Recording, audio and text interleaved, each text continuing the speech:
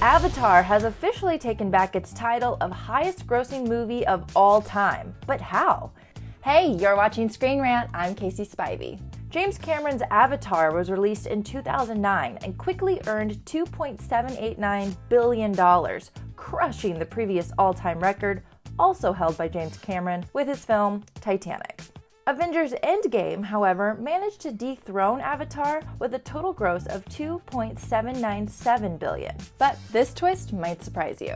Disney, who recently acquired the Avatar franchise, re-released the film in China this weekend, which earned the film an additional 8.9 million dollars, bringing its lifetime total to 2.798 billion. I did not see that coming.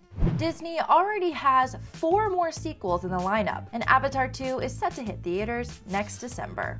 For more movie and TV news, be sure to keep it right here on Screen Rant. We'll see you next time.